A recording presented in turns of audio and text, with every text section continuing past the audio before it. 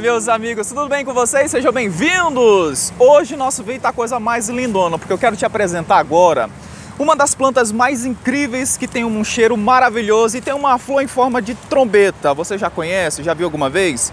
Hoje eu quero te apresentar essa planta. Se você tem em casa também, presta atenção nas dicas de cultivo que eu quero te dar, aproveitando da dica de adubação e como você vai plantar ela na tua casa da melhor forma que existe, de uma maneira bem simples.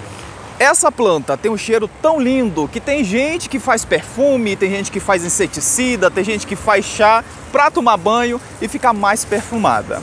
A planta que a gente vai tratar hoje é a trombeta de anjo. Olha só, gente, que coisa mais linda.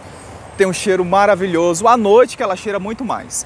Muita gente está me perguntando bem assim, Victor, tem uma trombeta de anjo em casa, mas ela não vai para frente, não floresce, não fica mais bonita. Um dos fatores principais dessa planta é o seguinte, o sol.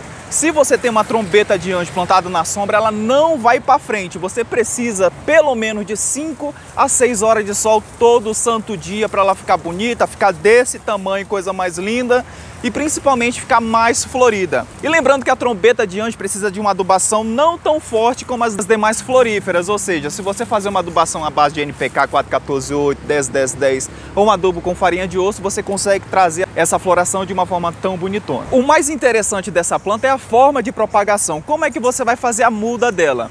Existe a forma para você fazer através das sementes, que eu não aconselho muito, mas a forma mais fácil de você fazer a muda dessa planta é através dos galhos, ou seja, você corta o galho e você planta ela num solo bom, num substrato bom, então simplesmente na areia também que ela consegue fazer o enraizamento, você consegue ter uma planta nova. Mas para você que quer plantar pela semente, o que, que você vai fazer? Depois que ela tem a florzinha, ela vai fazer a polinização, vai gerar essas frutinhas aqui. Dentro dela você vai encontrar as sementes, ou seja, você pega essas sementes e planta num substrato bom para você conseguir ter uma muda de trombeta de anjo. Se esse vídeo já te ajudou, esmaga nesse like para você que nunca conhecia a trombeta de anjo, já corre numa floricultura ou na vizinha mais próxima para pegar um galinho e plantar ela ou simplesmente a semente e depois você me deixa um recado lá no Instagram, no Facebook.